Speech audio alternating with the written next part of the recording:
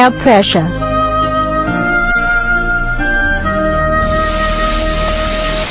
The tire air pressure should be in accordance with the numerical requirements in the following chart.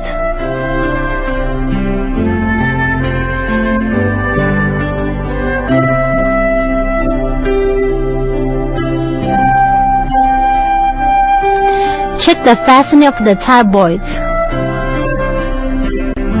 Check whether the cap is locked. If not, the lock indicator will light up. Attention! Before driving, check the traffic situation closely to make sure of a safe start. Fasten your seat belt if it's equipped in the truck. Start the engine.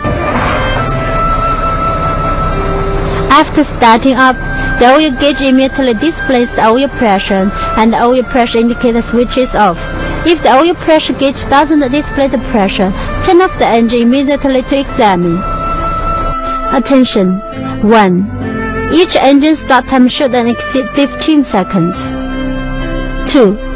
Time interval between two engine starts shouldn't be less than 30 seconds. 3. Don't rotate the engine in high speed when the engine just starts. When air pressure reaches 0.55 megapascals, warning lights go off and the alarm buzzer stops. Release the handbrake and you're ready to start driving. Attention! After starting the engine, run it at idle speed for 3 to 5 minutes. Don't depress violently. Wait for the oil pressure and water temperature to normal, then step down with gradually more pressure.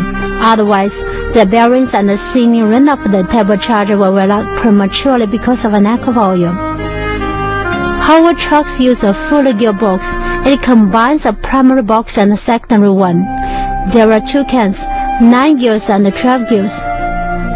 The 9 gearbox uses a double H pattern mechanism Gears from 1 to 4 are in low range, from 5 to 8 are in high range. The gearbox has two neutral positions.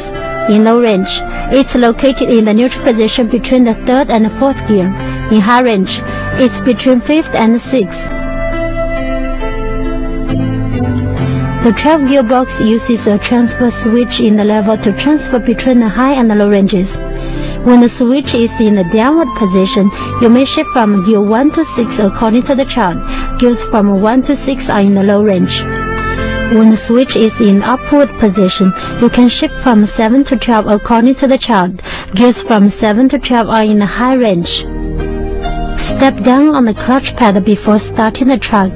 After overcoming a clear resistance point, continue to press the clutch pedal down to the end. At this point, with the clutch depressed, it can be used to put the truck in gear. Press the clutch pedal to the resistance point when shifting gear while driving. Pay attention when shifting the full gearbox. 1. The driver should use gear 1 or grounding gear when starting the truck in full load, and shift up in order rather than skipping the gears. 2. When changing gears, pull the gear lever smoothly till the gear shift has been completed. 3. Gear shift should pulse between the high and the low shifts, otherwise the synchronizer service life will be affected.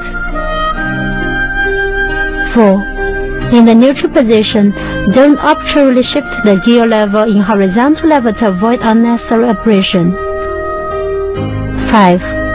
In normal travel, to ensure the transmission bearings and the gear fully lubricated, don't use the free sliding or flame out sliding. The drive axle of the whole trucks are equipped with in-two-way differential lock and inter-axle differential lock. When the wheel on the drive axle slips, use the in-two-way differential lock. When you press the in-two-way differential lock switch, the locks on the front and rear axles integrate and its indicator on the dashboard turns on. Now the truck can be driven forward.